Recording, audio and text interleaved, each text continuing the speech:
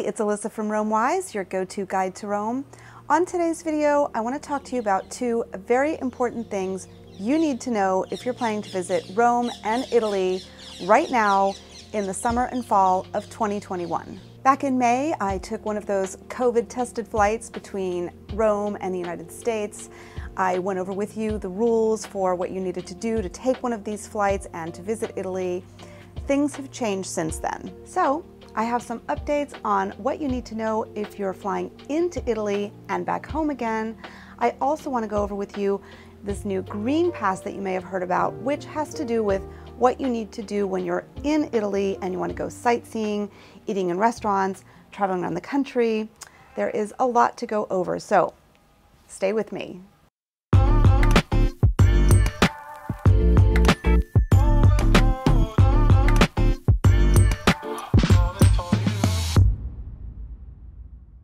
Do want to start off by saying that I realize that many of you still cannot travel here for a variety of reasons. Some of you have told me that even though you can travel here or you could travel, you're just not ready, you're nervous, you're worried, you're unsure. I get that. I understand this is a difficult situation. We are not back to normal yet, but I do have hope. I'm seeing progress, and so I hope that those of you who want to travel here can and will travel here as soon as possible. I'm not just saying this, uh, Rome really needs you, misses you, and it's just not the same without you. So I hope you can travel as soon as possible. But for those of you who are planning to travel to Rome and Italy in the near future, this video is for you. I want to give you these updates so that when you do come here, you're prepared and there are no surprises. So this video is about two things what to do when you're coming to Italy and what to do once you're in Italy. First of all, in June of this summer, Italy opened for tourism to citizens and residents of many countries around the world. If you visit one of several government websites such as reopen.eu, which is an EU-run website, or Viaggiare Sicuri, which is a website run by one of the Italian ministries, you can see exactly what you need to do when coming from your specific country into Italy. I've got links to those websites in the description below. I also have these links on pages on the RomeWise website that talk about these issues. In this part of the video, I want to talk to you about what you need to know, what you need to have to visit Italy. So besides your passport, right now everybody coming into Italy needs to fill out a passenger locator form. This is a very simple app. You can download it and you can even fill it out before you get to the airport, which I do recommend just because it saves you a little time and stress once you're in the airport. In order to enter Italy, besides your passport and your passenger locator form, you're going to need to show your COVID status in order to avoid quarantine. So there are three ways that you can show your COVID status. Here are the three ways. Number one, you can show that you have been fully vaccinated at least two weeks prior to your trip. By fully vaccinated, I mean either one shot of Johnson & Johnson or both shots of any one of the other three approved vaccines. Number two, you can show a negative test.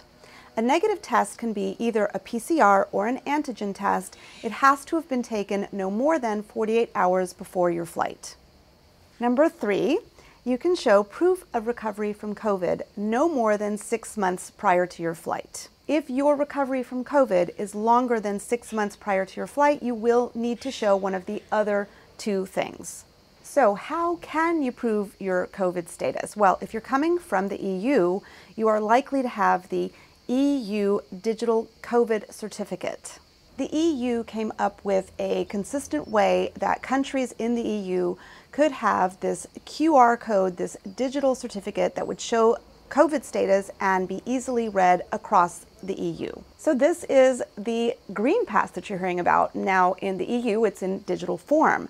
What about those of you not coming from the EU or one of the Schengen countries and you do not have a digital Green Pass? If you're coming from outside the EU or Schengen area and you do not have a digital Green Pass, you still can show your COVID status. If you have a paper form vaccination card, a negative test, proof of recovery from COVID, and you're coming from the US, the UK, Canada, Israel, and Japan, Italy is recognizing these paper forms as your Green Pass. I mentioned these very specific countries, but there are other countries that are being recognized, but the rules might change a little bit. So you'll need to go on one of those websites that I mentioned at the beginning of this video. So again, reopen.eu or Viaggiare Sicuri and fill in the form and you'll see what you need to do when you're coming from your particular country if it's not one of the ones that I just named. So do you need a digital green pass? Can you get a digital green pass if you don't have one? No, your paper green pass, your paper proof of your COVID vaccination or negative test or proof of recovery from COVID, that's your green pass. It does not have to be digital. You just need to have ID and you're good to go. So do you need to test before you come to Italy or once you land in Italy? That was part of these COVID tested flights. At the moment, if you are coming into Italy with your green pass, you don't need to do any further testing either prior to or once you arrive in Italy. So we've already talked about the green pass. Now we're going to go into the second part of this video, which is also about the green pass. And we're going to go over what you need to know and what you need to have when you want to go sightseeing, eat and drink in restaurants and cafes, and travel around the country. In late July, the Italian government decreed that as of August 6th, in order to visit any sites, monuments, museums, or to eat or drink in a bar or cafe, you need a green pass. Really, you just need to know that a green pass is a generic way of saying that you are showing your COVID status, even if it's in paper form. To enter the country, you need to show that you were vaccinated at least two weeks prior to your trip. But once you're in Italy, many of the sites and museums, including the Vatican Museums, the Colosseum, they are stating that your vaccination has to be proof of at least one of the shots. I would suggest that you check on the website of anything that you're planning to visit in order to be sure that you can use this just one shot to enter that site or monument. And if you're going to a restaurant, check with the restaurant. Um, I think that some of the restaurants are not 100% clear on this yet. They're, some of them are a little bit more ahead of others, but check with the restaurant before you go. So if you're planning to use a negative test as your green pass, this is a pretty important thing to know. When you use a negative test as your green pass to enter Italy, it has to be taken no more than 48 hours before you fly. What this means is that once you arrive in Italy, your negative test is pretty much expired. And at this point, you will need to take further tests in order to be able to enter sites, monuments, museums, go to restaurants, etc. And you'll have to take them possibly every two days or at least 48 hours before whatever it is that you want to do. So you may be taking these tests almost every two days throughout your trip. It's very easy to get an antigen test. Most of the pharmacies around Rome and other parts of Italy have tents set up. Usually you have to book in advance, but usually you can book for the same day. It's pretty quick procedure. You'll have written results in about 15 minutes. The tests were 22 euros. I think they're lowering or they've lowered the price to 15 euros.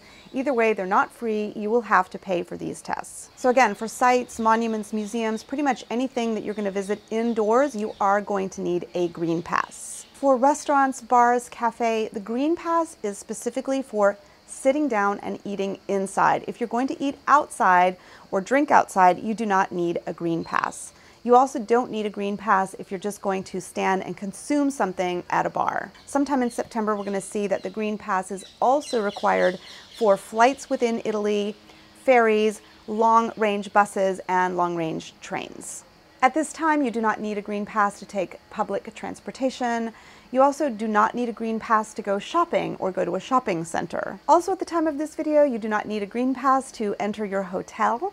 However, the green pass is required for closed spaces, things like gyms, spas, pools, etc. So if your hotel has one of these facilities, you will need a green pass to use that facility. So we've talked about the green pass for entering Italy. We've talked about the green pass for going around Italy.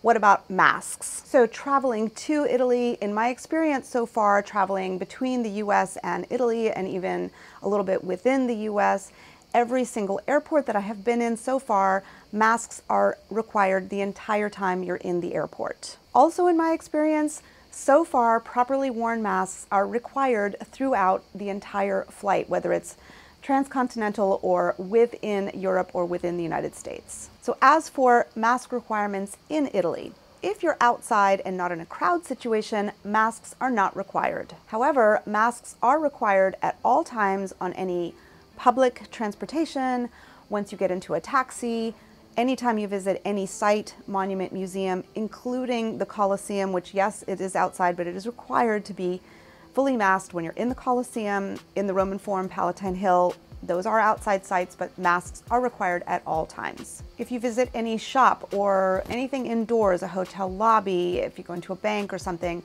you will need to be wearing a mask at all times when you're inside.